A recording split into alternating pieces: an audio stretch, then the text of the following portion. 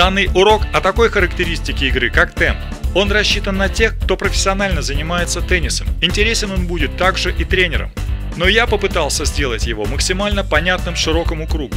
Данный фильм – это, наверное, пятый вариант от первоначальной идеи. Я постоянно упрощал, убирая сложные для понимания конструкции. Выпуская вместе с Андреем Мериновым уже довольно большое количество видео о технике движений, я понимал, что эта самая техника движений привязана к темпу игры. Проще говоря, можно выдумать себе любую форму движений, но настоящую проверку они, эти движения, пройдут на совершенно конкретном темпе. В этом фильме показана объективная картина темпа, где использованы материалы, снятые нами на Ролан Гаросе 2012. Мне часто приходилось слышать о таких показателях современного темпа, как удар в секунду или что-то типа того. Но в основном это общие слова или слухи. Подробного исследования я на эту тему не видел. Темп движения мяча от одного игрока к другому и общие закономерности в зависимости от этого. Виды розыгрыша и типы игроков. Эта первая часть фильма является подготовительной для понимания второй части, которая выйдет позднее.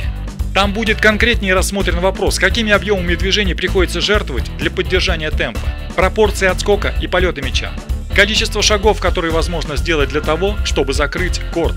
Но это будет позже, а сейчас приобретайте фильм «Теория темпа» и учитесь.